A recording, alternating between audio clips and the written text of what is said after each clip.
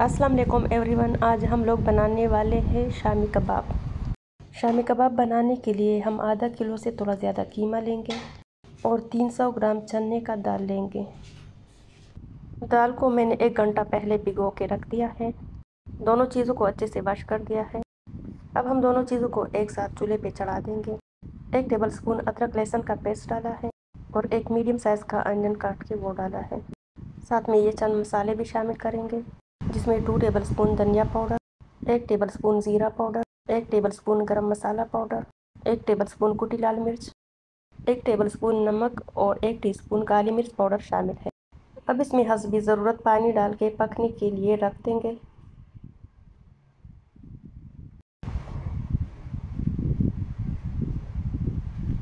तीस मिनट के बाद अब इसको चेक कर लेंगे।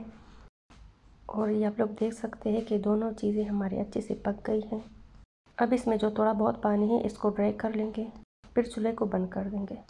जब ये थोड़ा सा ठंडा हो जाए तो फिर चॉपर में डाल के अच्छे से पीस लेंगे। मिक्सचर हमारा रेडी हो गया है।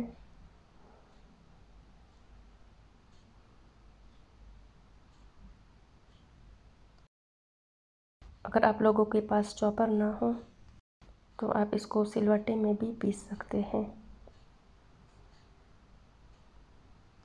अब थोड़ा सा कटा हुआ हरा धनिया और पुदीना डाल के अच्छे से मिक्स कर लेंगे।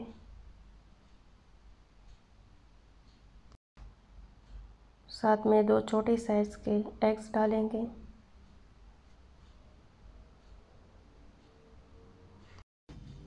एग्स डाल के आटे की तरह गूंद लेंगे। मिक्सचर हमारा बिल्कुल रेडी हो गया है।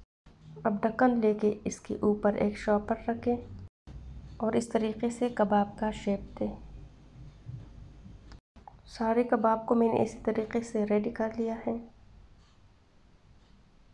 अगर आप लोगों को इसे छोटे कबाब पसंद है तो फिर आप छोटा ढक्कन यूज़ करें। यहाँ पर मैंने दो अंडों को अच्छे से पेंट लिया है और ये होममेड ब्रेड क्रम्स है। इसकी रेसिपी मैं आप लोगों के साथ शेयर कर चुकी हूँ। अब कबाब को पहले अंडे में डिप करेंगे। फिर ब्रेड क्रम से कोट करेंगे।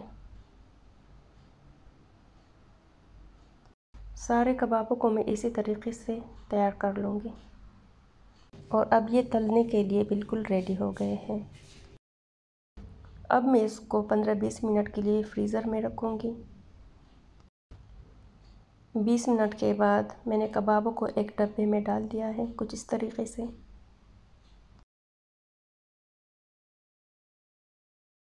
ये बहुत ज़्यादा है तो इसलिए मैं इसको फ्रीज़ कर रही हूँ। तीन चार कबाब मैं आप लोगों को फ्राई करके दिखाऊँगी। बाकी को मैं फ्रीज़र में रख दूँगी। फिर जब दिल किया तो फ्रीज़र से निकाल के फ्राई कर लूँगी। अगर आप लोगों को मेरी आज की वीडियो पसंद आई हो तो लाइक, शेयर और चैनल को सब्सक्राइब ज़रूर कीजिएगा।